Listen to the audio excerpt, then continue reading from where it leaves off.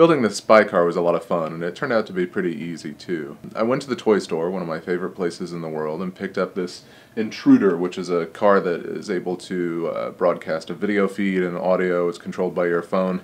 Um, but it turned out it was too slow and cumbersome. It wasn't going to work for what we needed. So I tore it apart and mounted the bits and pieces on top of a much, much smaller but much stronger and much faster uh, Losi 4x4 car truck thing. Anyway, it was very fast and it was able to carry the components pretty well.